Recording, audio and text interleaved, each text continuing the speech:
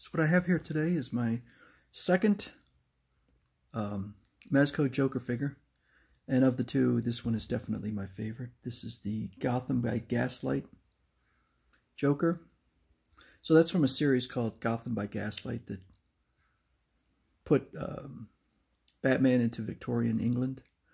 And uh, I've never read that one. It's an alternate universe Batman. And uh, just never got around to it. But I did like the figure, so I went out and bought it, even though I had no experience with the the uh, the series. So he's got the glasses on.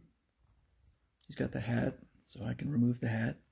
Uh, the hat is not held on by magnets, but they did kind of carve out, so you can see how they carved out an area to uh, fit nicely on his head. So it does stay on very nicely, even without magnets. His glasses come off pretty easily. And they do hold on very well.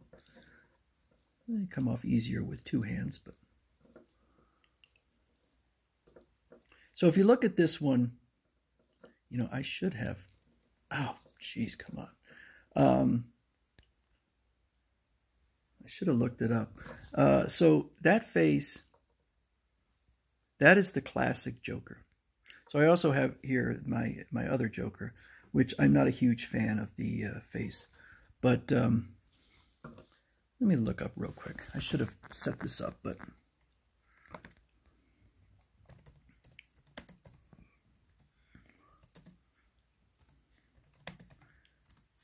So the, the Joker was based on The Man Who Laughs,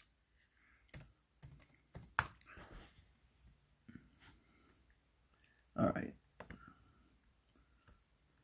So there's there. This is the uh, the character from The Man Who Laughs, and if you look at it, you'd think that they took the uh, the figure from uh, the Joker. Now, the the Man Who Laughs by Victor Hugo, the uh, main character had uh, when he was a child, somebody had uh, or some people had um, disfigured him to cause that freakish grin. So throughout the film, he's got that grin because he cannot uh, not have it. And so you could see really, he looks very much like the man who laughs from Victor Hugo's uh, book and the film adaptation. So if we look here, that's, oh, I cannot get, won't focus on it. All right, focus there. All right, so there you go. It is really a, and so this movie came out, I, I want to say like, yeah, okay, 1928. So it's an older film, black and white. So that's what it's based on. Now this figure, this is this is one of the figures that kind of broke my heart because I I have admitted in the past that I have a bit of a, a, a tiny OCD, not pathological, but I would say a tiny OCD with damage to figures.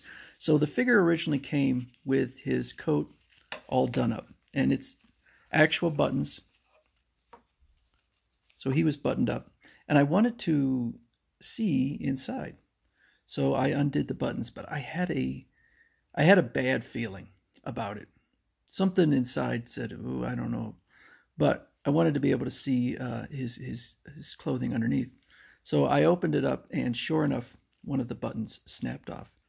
And so I super glued it back on, but you can see there's a little bit of super glue sl slopped around. Now, I don't think anyone would even notice. If I told somebody that this figure was slightly damaged, they'd probably have to look all over and probably would not even notice it, but I know it's there. So maybe someday I need to figure out how to get super glue off of the uh, fabric. I tried as best I could to be as careful as possible. Um, you could see that there's a lot of kind of looks a little bit dirty, and I think that that was done by Mezco. Um, this is kind of weird, and I only noticed it today actually when I was looking at the figure. His pants look a little bit dirty, but only below his cloak. So I'm assuming that they had the the the jacket closed and then probably sprayed something on to give it kind of an old weathered look. His boots also look a bit weathered. That's how it came. I've never, you know, I don't sit there and play with my figures in the dirt. Uh, I like his tie. He's got the suspenders, kind of old-timey pants with the uh, pulled up like above his belly button. It's just a really neat figure. I just I think even though it's not the uh, the official Batman or, or Joker, um, it's got that classic look to it that I really like. I just I think that facially I like him much much better than the other. And this one is I don't know if it, you can still buy it. It's sold out on Mezco's website. You could get on the wait list, and I actually have gone on the wait list and gotten figures. Sometimes I go on the wait list and it just never, never happens. But um, I have had some sometimes. But you can look around.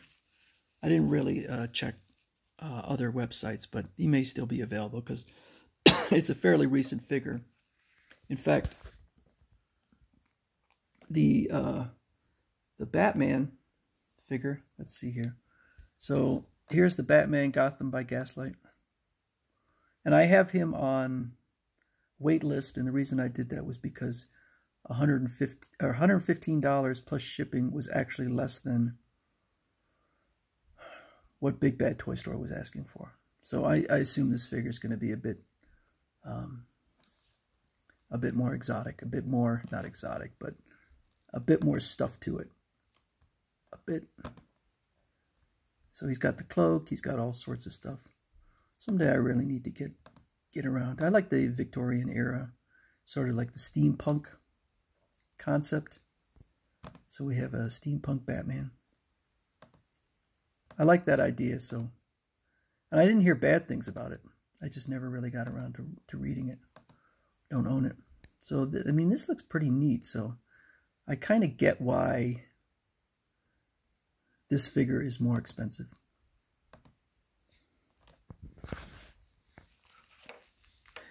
But the, uh, yeah, I give this one high marks. The, the articulation's all fine. Uh, this one I have no problem. See, every time I say I have no problem making a stand, he doesn't want to stand. It takes a little bit of effort. Um, overall, I think this one is another one that looks great on the shelf. Better than this one.